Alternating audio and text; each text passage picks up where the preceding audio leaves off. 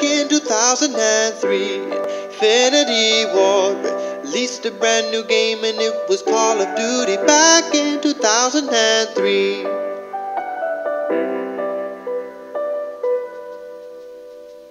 It started off quite small and it was innovative.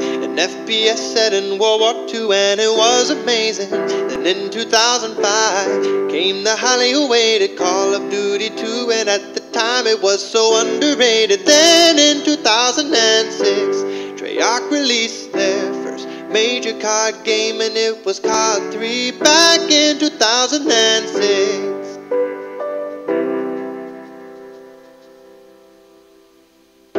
Then a year later, we saw the release of COD 4.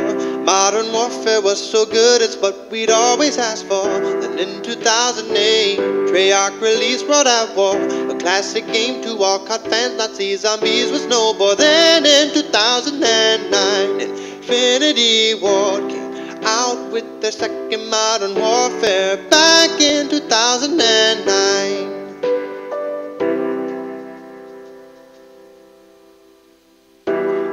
On a year, Treyarch released Black Ops, a series that we know and love, and it was sure to blast off. Infinity Ward then came out with the final Modern Warfare, completing the trilogy, a set of great games that they made there. Then in 2012 came Black Ops 2. Treyarch did a good job and we all loved it back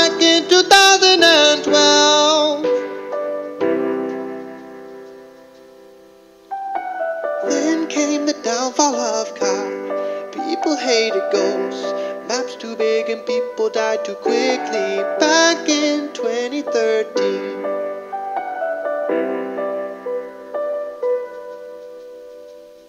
Then Sledgehammer Games stepped up and tried to redeem it. Was jumping around everywhere, it made me wanna rage quit. It was no better than Ghosts, although they tried to make it. COD's futuristic now, more than we've ever seen it. Now in 2016, we have Black Ops 3. We'll see if it lives up to what it's supposed to be. It is much better than the last two COD games that we see. Another great COD game to go back down in history. Later in 2016, we'll see the release of a brand new COD game that is released yearly. Later in 2016.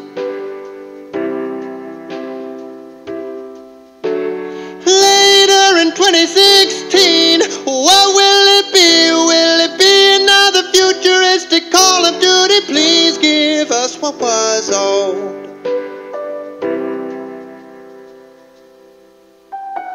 Back in 2003, Infinity Ward released a brand new game and it was Call of Duty. Back in 2003.